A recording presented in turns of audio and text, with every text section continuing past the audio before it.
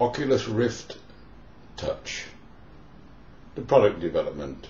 You can see many developments of Oculus Rift into the virtual, multi-sensory virtual reality and artificial intelligence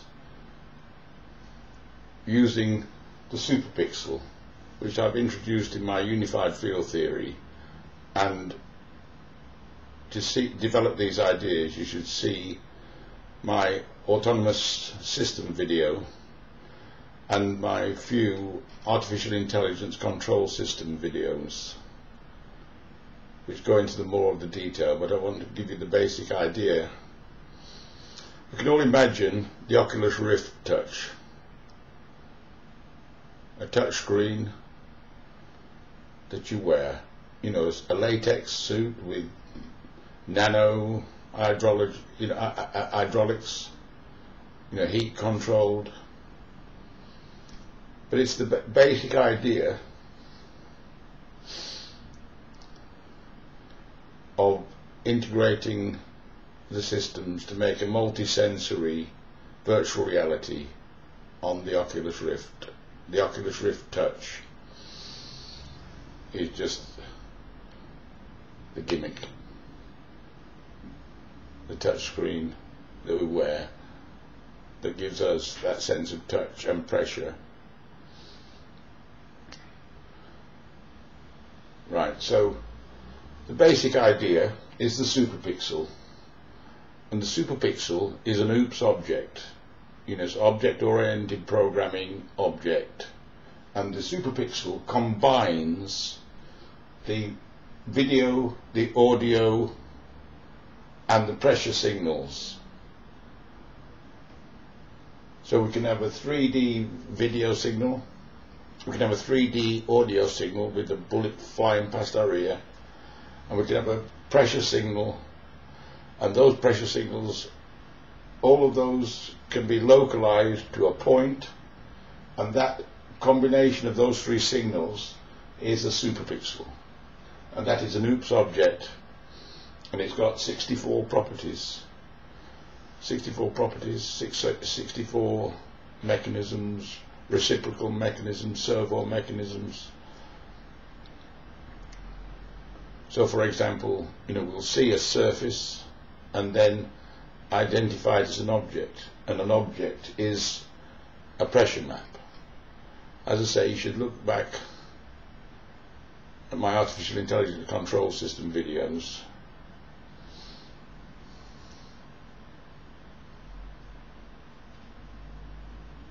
So we have the video signal, and the video signal we must be able to identify movement and faces, surfaces.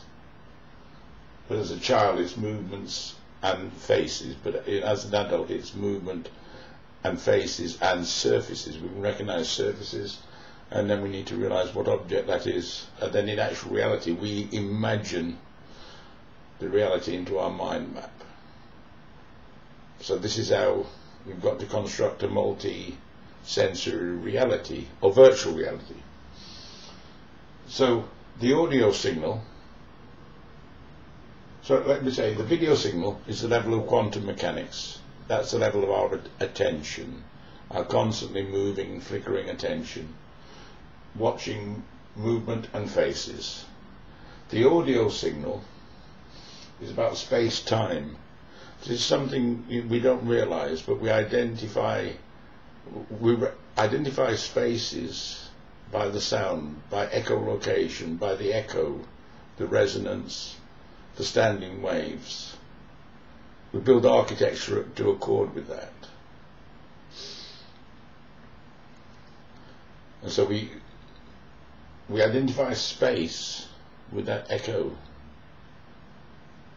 and then we identify, actually name and recognize the space by its smell. Because obviously different rooms of the same size might be different places, you know, the bathroom or, or a small kitchen or a workshop, and so there'll be different smells. So it's the smell that's identified. So smell is a derivative sense to identify the space. Now time is actual sound. Sound is those oscillations. Time, time is sound, or sound is time. Sound really gives us our idea of time. time. This is the sphere of relativity, remember. Audio, the space-time relativity. And sound has got to be at a certain place at a certain time. You know, that bullet was in pasture here. And that with the virtual reality we can recreate that and then as I say we've got a continuous video signal that we've got to identify movements and faces. We've got a continuous audio signal. And, and then we've got a continuous pressure signal which in an organism, organism is its um, surface tension. There's a pressure signal in the sense of touch.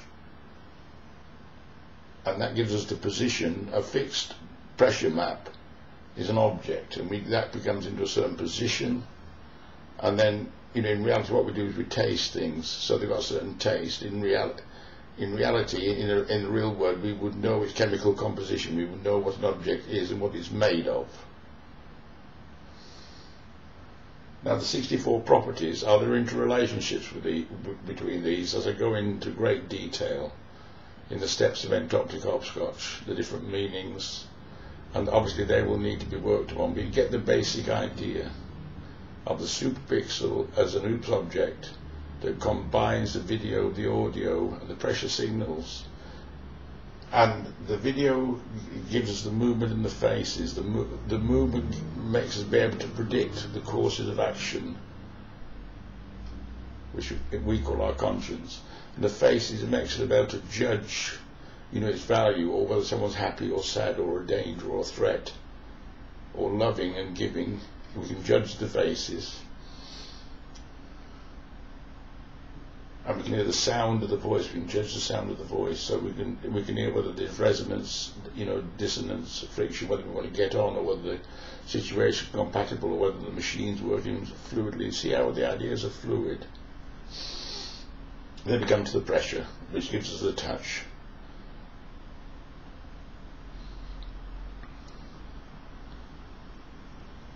As I say, the first thing, you know, is tracking, you know, tracking the gaze, tracking the gaze, or, you know, the, the, the you know, the movement of the eye, the focus. And once this is done, then we can, you see, if we can use Oculus Rift to train people in situations, then we can train a robot use, you know, with the structure of, of, the Oculus Rift. You see what I mean? Our, our experience can be put into the machines. It's not, I'm not talking about a spiritual transfer, transference. I'm talking about functioning. Functioning. And then we can get high level functioning. Because these 64 properties are the comparisons of different, you know, the in senses and their interrelationships. And they can be developed into advanced, you know, scientific senses and their interrelationships and this is what we're talking about with genuine artificial superintelligence. As I say, based upon the superpixel for multisensory virtual reality, the superpixel combines the video, audio and pressure signals at that point. And this is how we have the Oculus Rift Touch.